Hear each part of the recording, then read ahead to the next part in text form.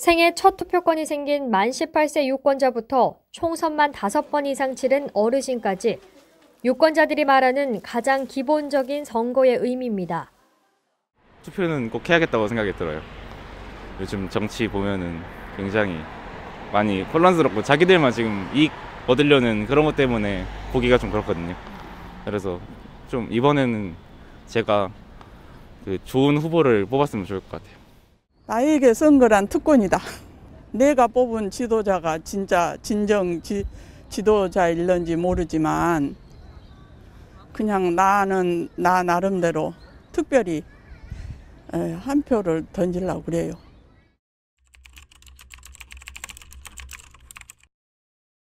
국민을 대표해서 좀 더 나은 사회를 만들어줬으면 하는 마음은 아이를 키우는 부모를 포함한 많은 유권자들의 큰 바람이기도 합니다.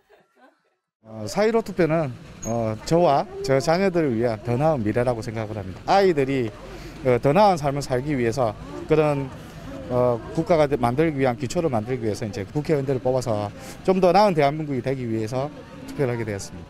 나에게 선거란 더 나은 사회를 만들기 위한 첫걸음이다. 이번에 선거 연령대가 만 18세로 낮춰졌는데 그만큼 더 많은 유권자들이 투표를 해서 더 나은 사회를 만드는데 일조했으면 좋겠습니다.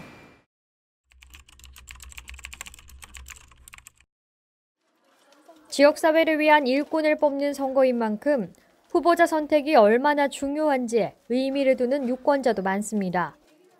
내게 선거는 가계부라고 생각합니다. 이처럼 꼼꼼하게 준비하고 꼼꼼하게 살피고 품목 품목을 따지고 꼭 필요한 게 뭔지를 찾아내는 그런 생활의 가계부가 되는 것이 바로 선거라고 생각합니다. 나에게 선거란 뭐 장밋빛 되게 호사스러운 많은 공약을 하시는 분보다 소신껏 여기 이 정서를 다 이해하시고요. 좀 포근하면서 약속을 지킬 수 있는 그런 임무를 가진 분을 뽑는 게 나에게 선거란 약이다. 잘못 행사하면 독약이 될 수 있고 잘 행사하면 보약이 될 수 있기 때문입니다.